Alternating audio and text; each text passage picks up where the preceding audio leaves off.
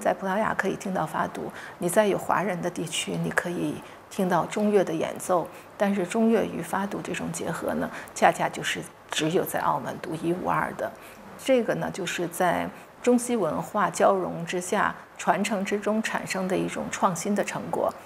澳门回归祖国二十周年纪念日前夕，澳门特区政府文化局局长穆欣欣接受了中新社记者的专访。澳门回归以来的文化传承和创新是他提及最多的内容。穆欣欣说：“虽然经历了葡萄牙政府的长期管制，但中华传统文化一直都是澳门多元文化中的主流。”回归二十年来，特区政府致力于用贴近百姓的方式保护和传承传统文化。目前，澳门有包括粤剧、鱼行醉龙节、妈祖信俗等在内的十五个非物质文化遗产项目。在这一天，大家都可以在街头看到五醉龙。这一天呢，老百姓会排长长的队去领这个龙船头饭。所以，非物质文化遗产以这种形式保留下来，它跟更多的市民大众去发生联系。这样呢，全程的呢就会有一种，嗯，对于非物质文化遗产的保护，其实它是有一种坚守的信念在里边。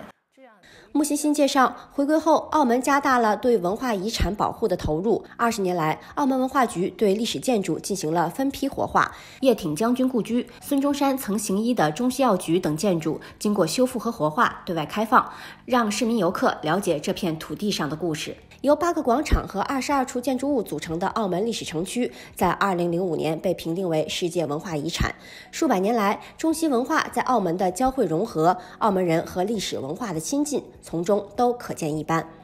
我们的澳门历史城区，它虽然是世界文化遗产，但是它不是孤立的被保护起来，而是澳门的居民呢，每天在这里边和它共生共存。我们每天。都穿梭在澳门的历史城区里边，就是说历史也好，遗产也好，让我们感到就是我们日常生活就是一种日常，我们跟它很亲近。